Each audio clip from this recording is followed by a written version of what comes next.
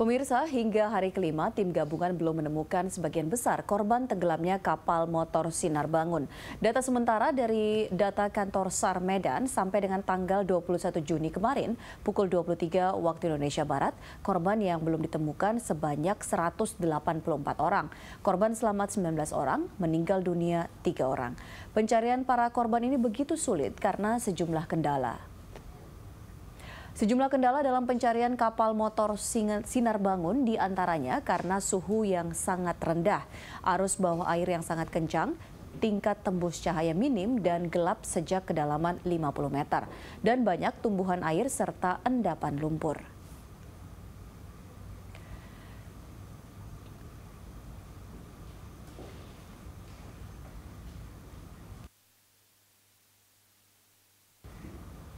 Ya pemirsa seperti yang kami sampaikan sebelumnya bahwa memang banyak begitu kendala yang ditemui mengingat kondisi Danau Toba yang sangat luas dan dalamnya lebih dari 500 meter. Untuk membahas mengenai apa yang seharusnya bisa dilakukan untuk menemukan jejak kapal motor Sinar Bangun di Danau Toba, sudah bersama saya di studio peneliti Pusat Limnologi LIPI Ignatius Dwi Atmana Sutapa. Selamat siang Pak Ignatius. Selamat siang. Ya dan kita juga nanti akan bergabung uh, melalui telepon bersama uh, Bapak Budiawan yang merupakan Kepala Kantor SAR Medan. Ya saya ke Pak Ignas dulu. Pak Ignas ini kalau kita lihat sudah hari kelima sekarang tetapi belum membuahkan banyak hasil seperti itu. Nah ada beberapa tadi kita sampaikan ada beberapa kendala sebenarnya tetapi kalau melihat profil dari Danau Toba itu sebenarnya apa faktor terbesar yang menghambat adanya uh, evakuasi para korban ini? Ya, terima kasih Mbak Ami. Uh, sebenarnya tadi sudah hampir semuanya disampaikan ya. Uh, Danau Toba kan karakteristiknya kategori teknovulkanik. Dan berdasarkan data batimetri yang ada itu uh, kalau rata-rata kedalaman itu sekitar 200 230 meter. Mm -hmm. Tapi ada tempat-tempat tertentu yang memang kedalamannya lebih dari 500. Jadi tercatat mungkin sekitar 505 di dua tempat ya paling tidak gitu. Mm -hmm. Kemudian uh, itu yang kemungkinan menyebabkan uh, kalau tenggelamnya itu di wilayah-wilayah yang kedalamannya cukup tinggi kan uh, sulit. Di samping tadi memang tingkat kecerahannya yang rendah. Perlu diketahui bahwa tingkat sedimentasi dari Danau Toba ini cukup tinggi karena sungai yang masuk ke danau ini cukup banyak uh, kurang lebih sekitar di atas 200-an. Sebagian besar memang dari daratan Sumatera, kemudian sekitar 60 sungai dari Pulau Samosir. Mm -hmm. Ya uh, sebenarnya ada upaya-upaya untuk menghentikan uh, datangnya sedimentasi dari sungai-sungai itu, tetapi ya itu masih perlu waktu.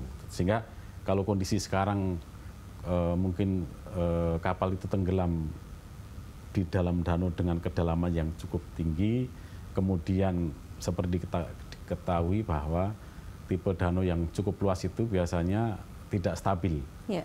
Makanya tadi disebutkan ada arus uh, di dalam air. Ya sepertinya katanya uh, saya sempat baca ada uh, artikel yang mengatakan di Danau Toba hmm. itu sempat ada apa ya ada pusaran air seperti itu. Uh, mungkin pusaran air ya lebih ke mungkin dinamika air ya okay. karena uh, biasanya karakteristik dari danau yang luas itu dia tidak terlalu stabil. Jadi artinya uh, gerakannya lebih besar begitu mm -hmm. gerakan uh, airnya.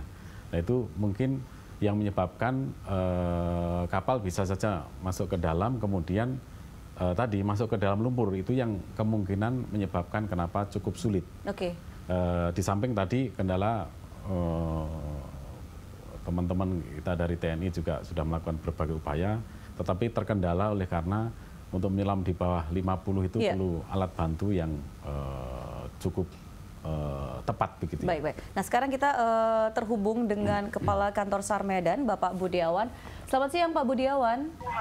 Selamat siang. Ya Pak Budiawan, mungkin bisa diceritakan sedikit Pak, uh, apakah ada perkembangan terbaru dari pencarian para korban KM Sinar Bangun ini hari ini Pak?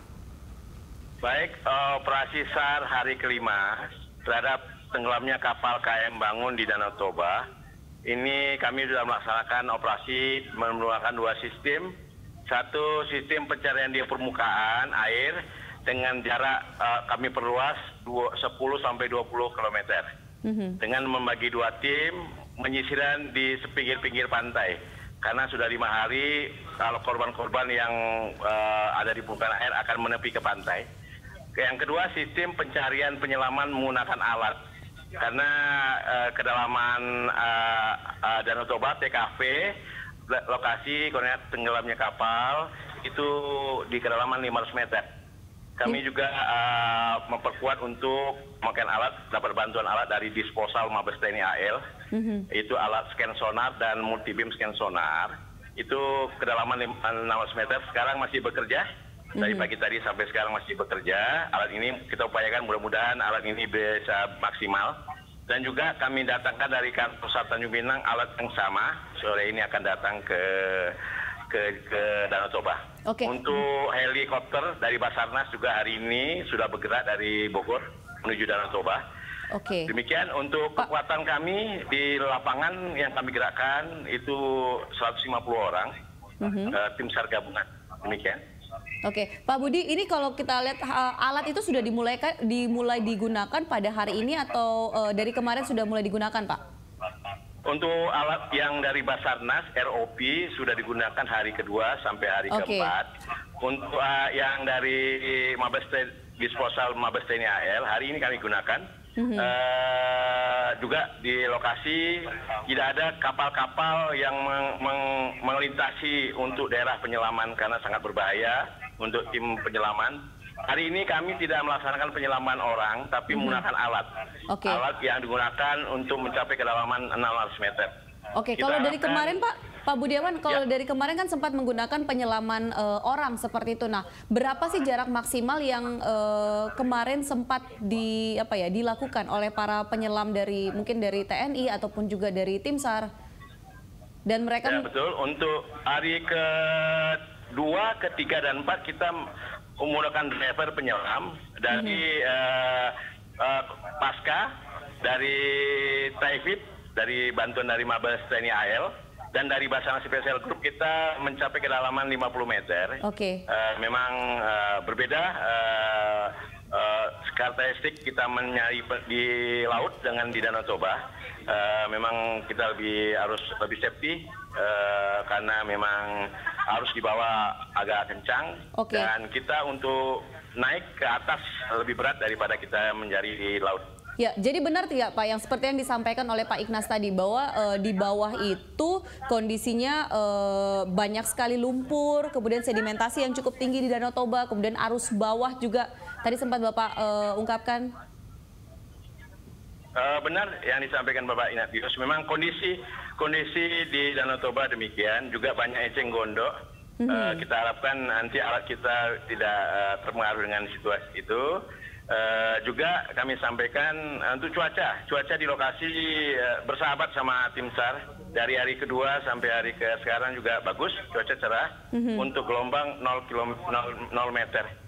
Oke, uh, saya ke Pak Ignas. Pak, tadi kan uh, disampaikan oleh Pak Budiawan bahwa sekarang juga uh, difokuskan juga untuk di permukaan seperti itu selain tentunya menggunakan alat yang diharapkan bisa mencapai uh, ke titik kedalaman yang jauh lebih uh, dalam lagi jika dibandingkan dengan uh, manusia menggunakan penyelam. Tetapi kalau permukaan, nah kalau misalnya kita di air uh, air asin atau di laut seperti itu kan ada harapan bahwa para korban itu bisa mengam, uh, mengambang. Kemudian, nah bagaimana dengan uh, kalau di air tawar?